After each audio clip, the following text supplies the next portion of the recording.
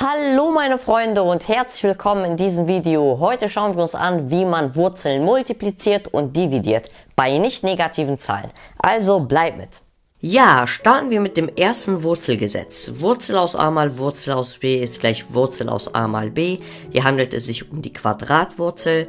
Wenn ihr aber mit Kubikwurzeln und so weiter rechnen wollt, dann könnt ihr auch die ente Wurzel aus a mal ente Wurzel aus b ist gleich ente Wurzel aus a mal b machen, aber meistens rechnet man mit Quadratwurzeln, deswegen lassen wir es mit Quadratwurzeln.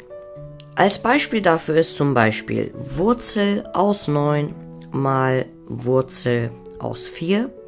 Gesetz anwenden, dann haben wir Wurzel aus 9 mal 4 und 9 mal 4 ist ja 36, das Ganze unter der Wurzel und Wurzel aus 36 ist 6 und schon haben wir das Ganze ausgerechnet.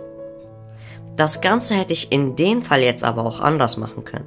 Ich hätte die Wurzel aus 9 ziehen können, die Wurzel aus 9 wäre 3, mal die Wurzel aus 4 wäre 2 und 3 mal 2 wäre auch 6.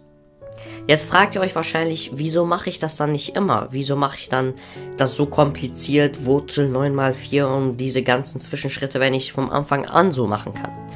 Ganz einfach. Wenn ihr zum Beispiel Wurzel aus 8 mal Wurzel aus 18 habt, Wurzel aus 8 ist keine ganze Zahl.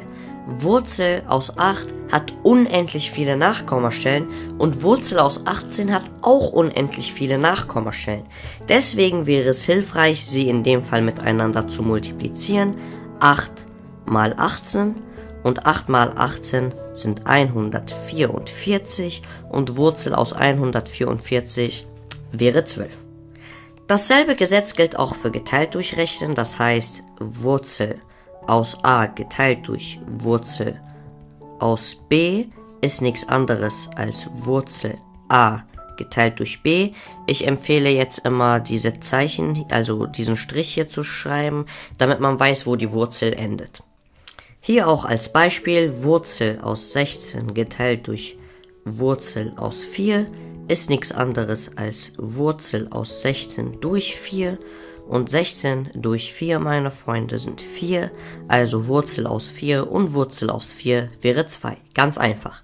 Hier hätte ich es auch anders machen können. Wurzel aus 16 ist ja 4 und Wurzel aus 4 ist 2 das geteilt durch Zeichen bleibt. 4 durch 2 sind 2, wir erhalten dasselbe Ergebnis. Hätten wir aber jetzt zum Beispiel Wurzel aus 20 geteilt durch Wurzel aus 5. Wurzel aus 20 kann ich nur teilweise ziehen, Wurzel aus 5 genauso, sonst habe ich unendlich viele Nachkommastellen. Deshalb wäre es hier hilfreich, das Ganze so zu machen. 20 durch 5 und 20 durch 5, meine Freunde wären dann 4 und Wurzel aus 4 wäre 2. Dasselbe Ergebnis haben wir bekommen. Ich werde auch noch Übungsaufgaben zu dem Thema in der Videobeschreibung verlinken, natürlich kostenlos und die Lösungen auch, sodass ihr das Ganze trainieren könnt. Ja, meine Freunde, das war's mit diesem Video. Ich hoffe, das hat euch gefallen und ihr habt daraus was gelernt. Das ist das Wichtigste. Mich würde es freuen, wenn ihr diesen Kanal teilen und abonnieren würdet und mir auf TikTok und Instagram folgt. Wenn ihr irgendwelche Fragen habt, schreibt sie mir gerne in die Kommentare oder auf Instagram. Wir sehen uns im nächsten Video. Auf Wiedersehen.